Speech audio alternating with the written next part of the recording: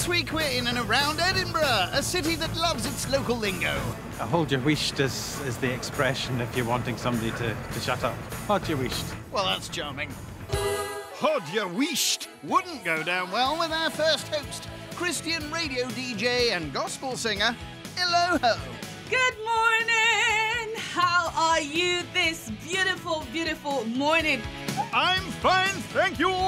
So when I walk into a room, people are like, wow, who's this? She's gorgeous, she's pretty, she's tall.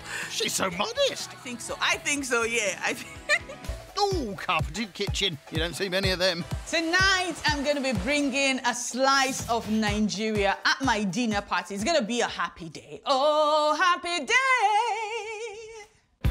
And she's kicking off her slice of Nigeria night with the starter, Nigerian chicken pepper soup. The traditional Nigerian pepper soup, which I'm making tonight, is uh, the soup that is given to women who have just given birth. It's not my favourite type of cuisine. Meet our second host, taxi driver Jamie. Ever had anyone famous in your cab? Yeah, I've had Dermot O'Leary in the car. Anyone else? Not really, but you sound familiar. Well, yes, I'm on telly, you know. That's right, it's Harry Hill, isn't it? All right, leave it. Just pull over. Pull over, Jamie. Thank you. So I'll admit, I'm not the most intelligent person you will ever meet.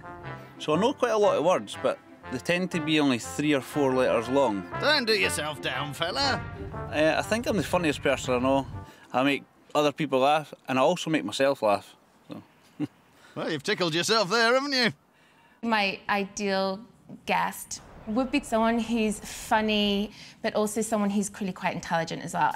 Well, you can't have everything. Looking for some highbrow laughter this week is business owner and girl about town, Maz. Someone once described me as having just enough common sense to cause trouble, which is pretty accurate because there's not a lot of common sense going on, but I know how to have a good time. Back in the kitchen, Eloho's sorting her soup. She blitzes onions and scotch bonnets with water, pours over chicken, and adds dried crayfish, red pepper, and peri peri for extra spice. You happy with that? Yeah, it's gonna be spice and flavouring. Uh, what you say now? It's gonna be tasty, tasty, tasty. Well, we got there in the end. Lovely. Third up is cabin crew trainer Julie. Oh, off somewhere cold, are we? Yeah, maybe not. Well, I give up now. When I was at high school, I was actually the shot put champion. Top talent. Any more? I can converse in duck language as well. Go on then, let's hear a bit of it.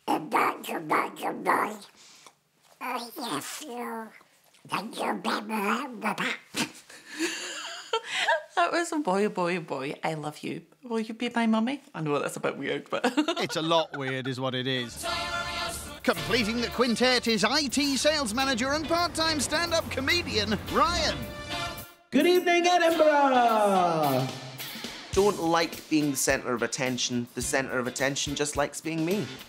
Heard it. Don't ask me for an autograph when I'm at the supermarket. I'm just there to buy a pound of sugar or something. You are coming back for the second half, aren't you?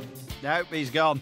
I might not be the best chef in the world, but what you will get from me is star quality. Look at those jazz hands. Yay! Prep done, she sprints off to get ready. There's nothing on here that I can openly say I don't like that. So, serve it up, Buttercup. Wowzers, what a onesie! Hello, who's ready? Oh, happy day! Third in, it's cabin crew trainer, come bird impersonator Julie. Hello! Oof, my ears. Would you like something to drink? I would love one, Okay. please. I hope you enjoy this. Oh, thank you so much. Try it. Go on, try it, try it, try it. Mm, it's actually quite zingy. Mm-hmm. Oh my gosh, that wasn't for me at all. Who would you like to see through the door next? Um, so that it's even, probably another guy. You've already got the young, handsome guy. Yes. of course. You've got uh, black hair, so. So a blonde 50-year-old Yeah, guy. yeah, blonde Right, so 50-year-old we're waiting on a blonde Blonde 50-year-old guy. Will a 30 year old redhead do ya? Last up, it's shy and retiring Ryan. Hi, that was almost right. Wow. No, you weren't. Just try it. That drink that we were first served was gelatinous muck. Don't hold back. In Nigeria, we do something funny because cheers is like cheers. Oh, so when we're okay. doing tables, tables, tables, tables. I'm stirring my soup. Uh, it's looking tasty. I smell a hit. So here's my starter ready. I hope they like it. Fingers crossed. Here we go.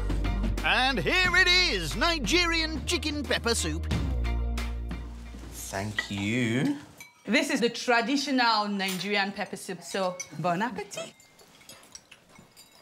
Has it got like a bit of a fish stock in it? Yeah, it's got um, crayfish in it.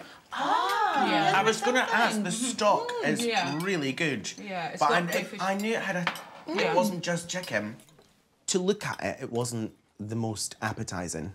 The three bits of chicken looked like the Cayman Islands floating in the water. Um, but it, it actually tasted really nice. Right. Well, time to find out a bit more about tonight's host, I think. I'm a radio presenter. Oh, Um, yeah. I run my own online Christian radio station, uh, but I have this show. It's called Arise with Eloho. I do that every morning, 6:30 a.m. to 7:30 a.m. And basically, I just want to communicate love, the love of God. I just want to share joyfulness. I want to inspire people. What an amazing person. So much positivity and energy and happiness, like so rare to find nowadays. Yes, really incredible. She clearly has her connection to the big God. It's not my bag, but it makes her happy, and actually, seeing her happy is infectious. I enjoyed it. Uh, I thought the spice was just right. I thought the chicken was just a bit too dry. Ah, okay. Jamie said the chicken was a bit dry, but he enjoyed it, you know.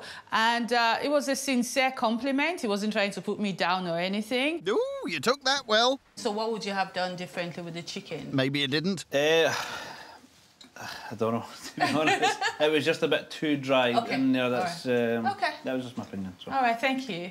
The chicken was dry. I didn't want to say it, but I think it had to be said.